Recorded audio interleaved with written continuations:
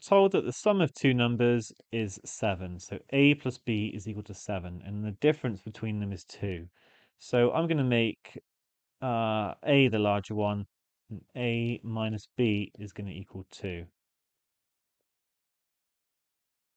What is the value of a times b? Now, when I did this question, I just thought, how can I get this without solving it? I can't really see a way, so I just solved it and I'm going to show you how you can do that now. There is a way you can do it without solving it, which I'll show you afterwards. It's quite neat, but um, I'd be surprised if many people thought to do this in the real competition because simultaneous equations solving them just seems to be um, quite a quick way of doing it.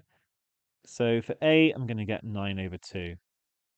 And then for B, it's going to be 7 minus 9 over 2, or 14 over 2 minus 9 over 2, which is going to be 5 over 2.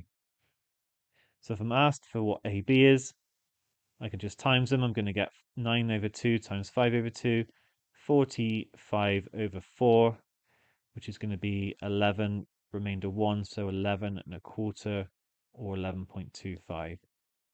Oh, sorry, 11 and a quarter in the final answer. Now, how could you do it without finding A? Okay, just out of interest.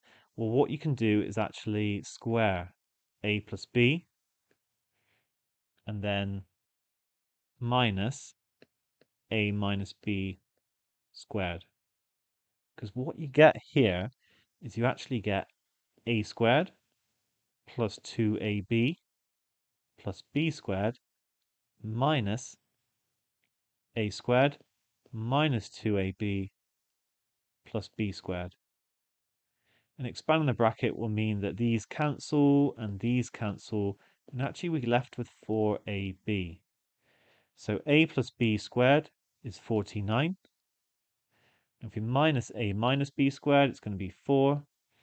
So we get that 4ab is equal to, wait, what is it? Uh, 45. Which means that ab is equal to 45 over 4. That's pretty cool. We've not actually managed to, you know, I think it's pretty cool. We've not actually worked out a and b, but we've managed to get the, you know, what happens when they multiply together. Um, so worth seeing this method as well, even though I think in the real thing this is more practical.